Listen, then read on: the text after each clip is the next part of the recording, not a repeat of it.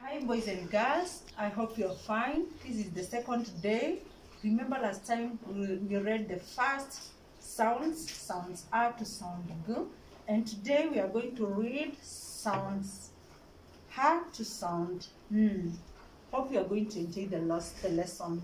And before then, we- we're still going to sing a very short song as we remind ourselves the lesson that we had last time. If you're happy and you know it, clap your hands. One, two. If you're happy and you know it, clap your hands.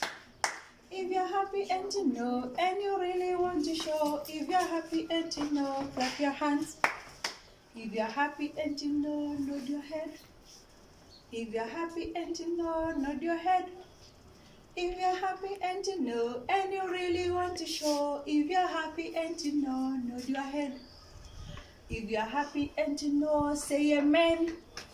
If you're happy and you know, say amen. If you're happy and you know, and you really want to show, if you're happy and you know, say amen. If you're happy and you know, do them all. Amen. If you're happy and you know, do them all. Amen. If you're happy and you know, and you really want to show, if you're happy and you know, do them all. Amen. Okay, welcome to our today's lesson. And as we said before, we are going to start with the revision of the, the sounds that we did on our lesson previously. Can you remember the sounds? Read together with me as we read our today's lesson. Say A. A for apple. Boom. B for ball. K. K for cat. D. D for duck. E. E for egg. Boom. Foo. Foo for fish. G. G for girl.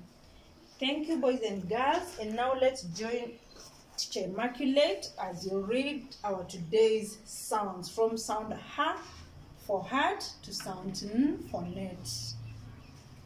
Say ha for heart. E. E.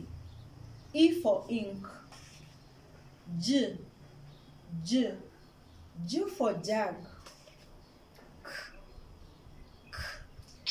K for kite. L. L. L for ladder. M. M. M for mango. N. N. N for net. Can we read the sounds once again together with teacher? H for heart. E for ink.